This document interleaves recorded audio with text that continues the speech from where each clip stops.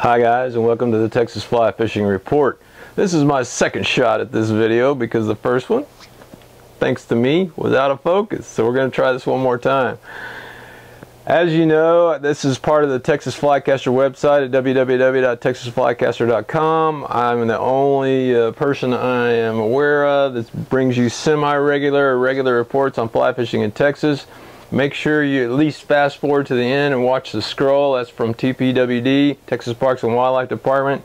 And what that is is a breakdown of all the lakes in the coastal regions by region um, so that you can take that information and you can conventional fish. I got nothing against that. Or you can fly fish just by interpreting what you read there. And that's what I do here is I try to interpret some of this stuff for you, put it into plain English, plain fly fishing English, hopefully complicated by very fluorescent uh, verbiage. So anyway, let me get started. That was just the worst introduction I may have ever done. But let me get started here. My name is Shannon. This report's been going on for a number of years. Um, right now it's May 15, 2020, and we I consider May like the best and worst of times. What I mean by that is Fish are getting active, they're everywhere. But in North Texas where I live, I live north of Dallas Fort Worth, the wind and the storms coming through. We had a storm yesterday, canceled a guide trip, rescheduled for tomorrow. It'll be canceled because of the weather coming tonight and tomorrow. It, it's just what we did, and today is unstable. You know, what I do is I guide for carp on Lake Ray Roberts, so we need a lot of things to line up. One is the wind, and two, water clarity, and three, some sun. You can't go out without sun because we all we do, it's basically a combination of hunting and fishing. We're sight casting for carp and right now bass actually in shallow water. So it is um, an ultimate challenge when uh, one of those factors, one of those variables does not line up. Statewide though, there's a lot of opportunity still going on check the scroll. You'll see that by looking at that scroll that there's a lot of things going on. If you're not going out, if you're stuck in because of the weather, there's a couple of things, well, actually more than a couple, there's a bunch of things that, that you can do to prepare yourself for the upcoming fly fishing season. Now, what I'm doing is I'm tying flies of all sizes from little tiny flies, which I had here a while ago, but I don't have now, little bitty flies for um, carp to big old monster bait patterns for uh, going to the coast and salt water. So those I'll I'll cut away here in a minute and, and send you or insert pictures of those flies because they're so small and so big.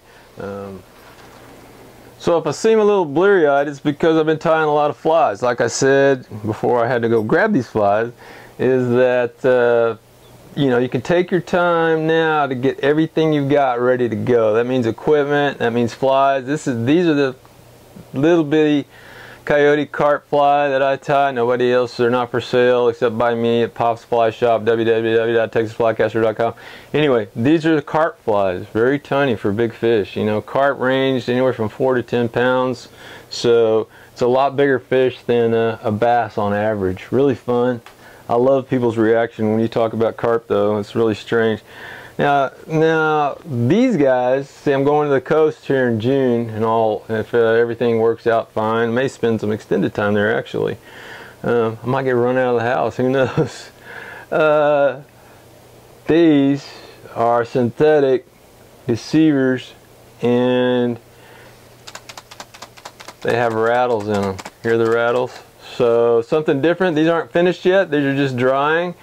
And then they will be, uh, I'll put the eyes on all of them and they'll be finished.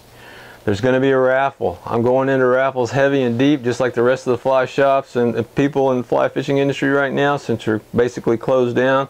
I'm going to raffle off probably a few of these sometime in late midsummer and then a whole box of Clousers with a brand new uh, Cliffs fly box. That'll be our one raffle. There'll be a raffle also for a guided trip on Lake Ray Roberts, which I do for carp. That'll be great. The sooner it sells out, the sooner somebody gets to go. Those will be shown on the website, www.texasflycaster.com. Be sure you check there.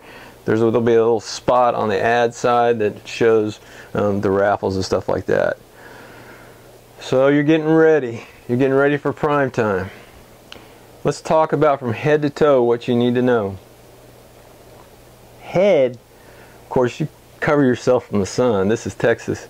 But also, you need polarized glasses. So I've been updating my polarized glasses depending on where you are, whether you're on the coast or inland, what, what your water looks like in general, most of the time is how you want to select your own preference for the type of coatings on your glasses.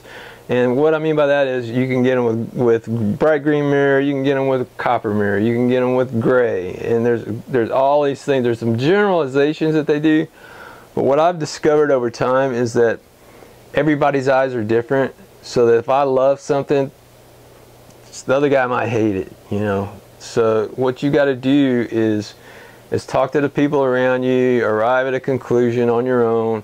Um, you know, I find that you got to pay attention to how much, especially here, how much light these these uh, certain lenses let in. I'm hardcore Smith Optics, and they're really good and really responsive on any. If you have any problems with your glasses or anything, orders come quickly. Good people. Not a great place for getting prescription glasses, but still very good. SmithOptics.com. Good people. That's your eyes. Clothing, of course, lightweight, breathable, dryable, and all that. But one other thing is your feet. And we're going to skip, we just skipped all the way down to your feet. And what I have is this old, old, old pair of Simms boots that I've waited miles, it's old, old, six years old, which I don't know, by shoe standards and by the way we treat these shoes, that's an antique what happens over time is you wear them out. I mean, that's just the way it goes. A lot of mud, dirt, sand gets in these and it grinds against the fabrics. The fabrics wear out. Um, these will go in the rafters of the fly shop, I mean the fly bar. We're in from the fly bar today because there's so much construction outside. These guys are tearing up the street.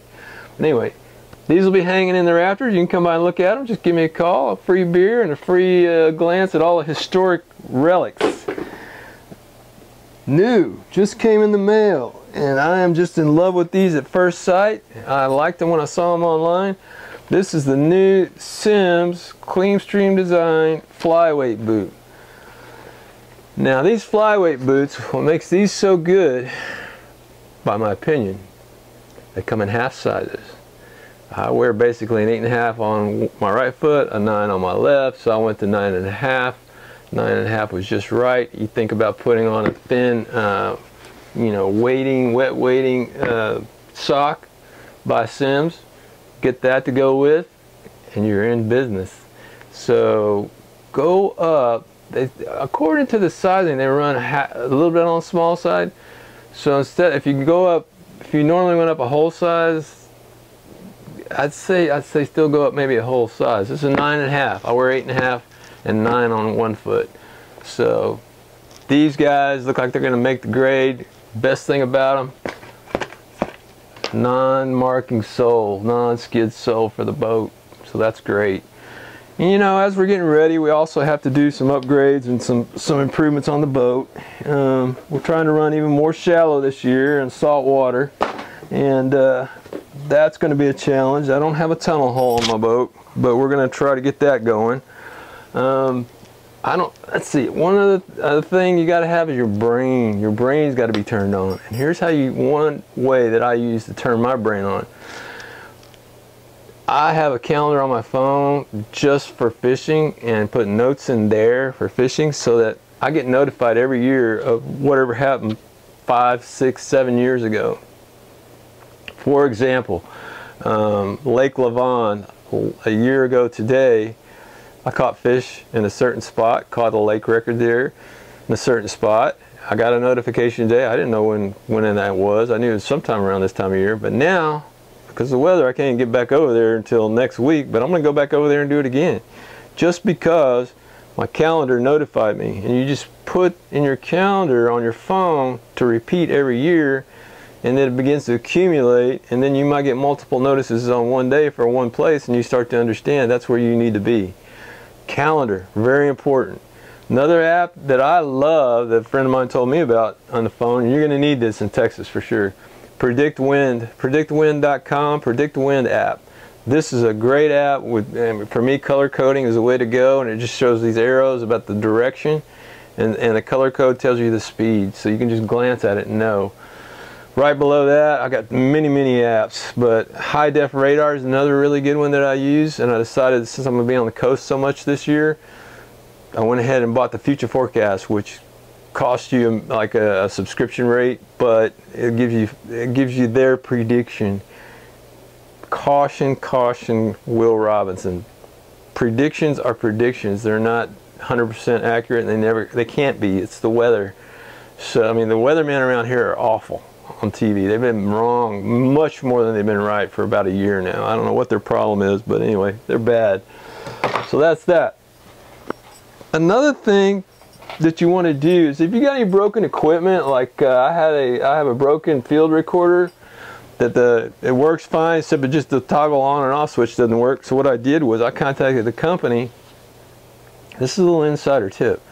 I contacted the company, and they um, don't want to touch anything. This is up in the Northeast, I think in New York, upstate New York, or New York proper, and uh, they offered me to a deal for about half price on a, a brand new version of this eight nine year old recorder um, to send it back, get 50% off a new one, and uh, they're not going to fix it. A lot of companies are doing that right now. They don't want to touch anything that comes in. They don't have to deal with it, or they don't have the personnel in in in house to deal with it right now, especially in the Northeast. Um, so make your returns now and try to schedule that. And the reason I bring that up is I got a GoPro Hero 4, and I really want the 8, really want to upgrade, but I want two Heroes on boat from now on and on site. Well, this one is crumbling. Literally, the casing and the front facing are crumbling off the camera. Otherwise, I would just keep this camera and keep on going. But it's falling apart. Literally crumbling at the at the uh, opening for the for the battery at the bottom and crumbling at the top right here for no good reason at all. I mean, I, I use it, but I, I take care of my camera gear for sure. So we're going to try to pull off a deal with that one too. I'm doing some other raffles. I've got fly fishing guided trips that I'm going to raffle off in the next month. And it just seems like a fun thing to do is raffles. It used to be considered gambling, but nowadays I guess it's normal. Uh, I was raised a conservative Southern Baptist, so maybe that's I, why I feel that way about it. And we've got a brand new item bringing to market. This is not quite finished on the mold, but this is the brand new mold for the brand new fly line mat called the Clint. And the reason we call it the Clint is because just like Clint Eastwood, it never misses. This is a going to measure out to be a 6 by 36 inch mat, biggest one, uh, longest one in the market. And the reason for that is, uh, after being on other people's skiffs with mats, I realized that a big square one is stupid because it has to, if you're standing on a poling platform, I mean not poling platform, casting platform, you have to curl up a, a square mat to, to, fit between the side gunnel and the and the of the bow and the uh, legs of the uh, platform. This takes care of that. It'll slide. It'll just lay right there. You drop your line down 36 inches long with, with spikes on it. So with 36 inches in length, you're not going to miss when you strip. So I got one friend, I'm named this after him actually, it's Clint. And uh, the thing with that one is you don't have to think about it. My old mat, it's still going to be for sale. It's the round one. You've seen it everywhere by now. I've sold a ton of them. Um, that one will still be available. This one's going to be more expensive because it's bigger. It takes more of the, the material I used to, to form those. And that will be available probably in about two weeks. I'm still finishing the mold on that. But keep your eyes out for that. I'll raffle a couple of those off this summer too. I'm raffling everything off. I might raffle myself off before this is over with. I think raffling is fun. But um, speaking of that, come to think of it, uh, if you're into raffles and getting deals or at least that gambling aspect of putting 10 bucks in on something, check out two fly shops over in New Mexico. There's one in uh, Taos and one in Santa Fe, and those guys are having some fun with this raffle stuff. So check those guys out. I've got a relative that lives over there. Get this, he spent maybe 120 bucks in raffle tickets for uh, one of the fly shops, and he won a Scott Radian rod. That's a $900 rod. And he won a Sage Motive rod. Two rods from one place. and only spent 120 bucks for, I don't know, that's about 1400 in rods.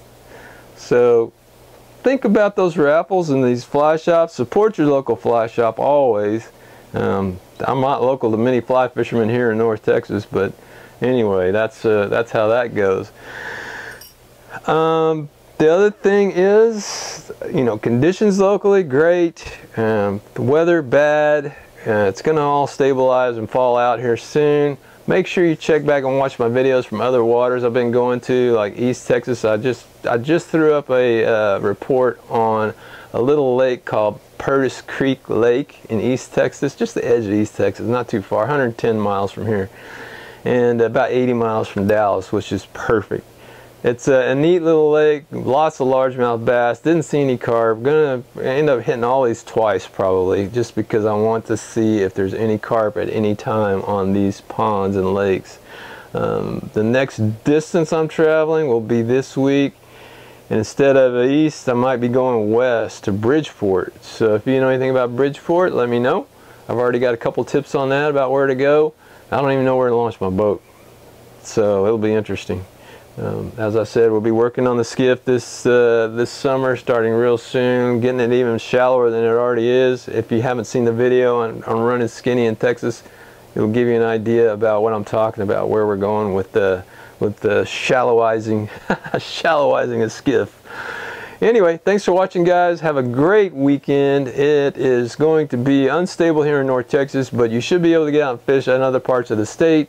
Be sure you call me uh, and if you want to be on my text list for hotspots, man, they're, they're happening now. 940-380-0408 is my phone number. Hopefully this video is in focus. If it's not, too bad. You're going to have to watch it out of focus and just maybe, maybe that's just how you see things anyway. Thanks for watching. Have a great weekend. Have a great week next week. Watch the scroll at the end of this.